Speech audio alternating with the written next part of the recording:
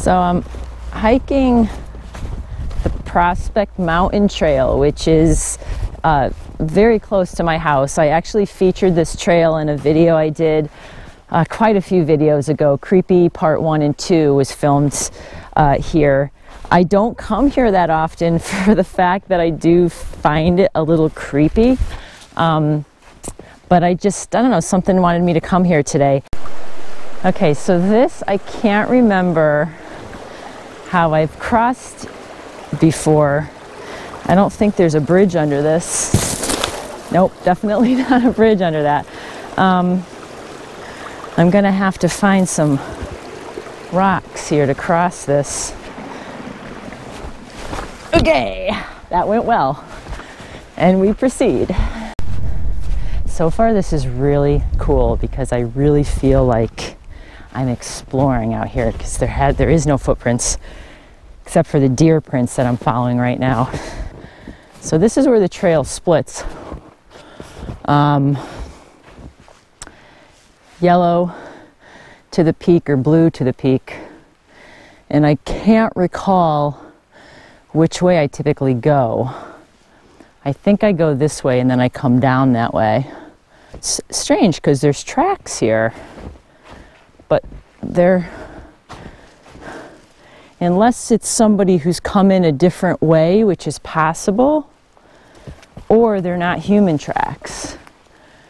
Oh no, that's a snowshoe track. Somebody snowshoed through here. When I was changing my batteries, I was listening, I was noticing how quiet these woods are.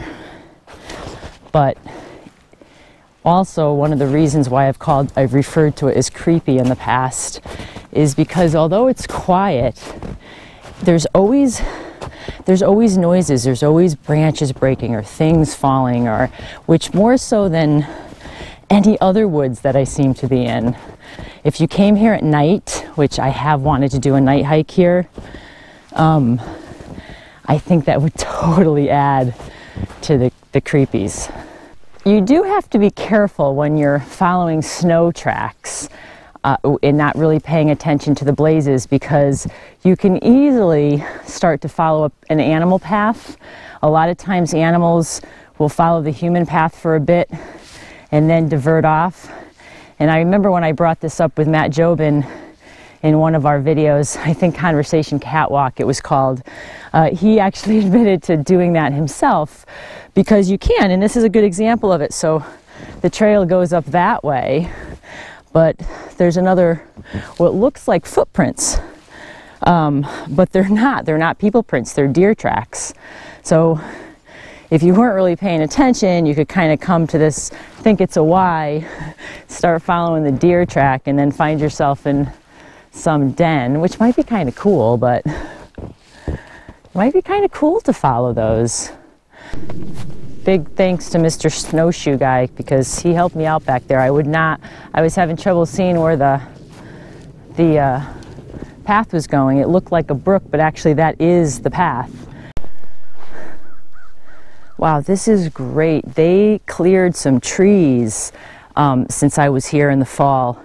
You were not able to see that view. All the trees had grown up and you can see the, the stumps down below. They must have cleared them this, this past fall and it just, it opens up the view because before the only view you had was here. They provide a little bench here for you. Um, it was only that small opening in the trees. This is where I might mess up because I'm still following these snowshoe guys trails, but I just remembered that there's houses over here. And that guy, if you remember, I didn't see the tracks on the way in from the from the section from my car to the main trail. So I knew at some point I was going to see that this person must have turned off somewhere. And so I suspect he probably lives in one of those houses. So now I have to back up because I don't know if I'm on the trail that gets me back. Shoot, it splits here. Which way did I go? I think I went this way. Um, I don't know if this heads me back to the car or if this goes up to the guy's back door. So I'm turning around so that I can find the yellow, the last yellow blaze. Good thing I turned around. That's exactly the case. That's where I came from. That's where I was heading. And that's where the yellow trail goes. So I would have headed right into that guy's backyard. I'm back. I'm back to that point on the trail where it split. And actually, that's what I did. So, I, if you remember when I came in, I went to the left and I followed the, the blue trail to the peak. And then when I got to the peak, I followed the yellow down. So, it made a nice little circle. It's a nice little hike. And I think it took me maybe, I want to say an hour and a half. I want to say it, it took me an hour and a half. And I stopped a lot because I take a lot of pictures and I explore. I'm back here at the brook so pretty, sounds so pretty. I'm gonna leap this again. Actually, I don't think I have to make that big of a leap. I'm gonna go one, two, good. I'm good.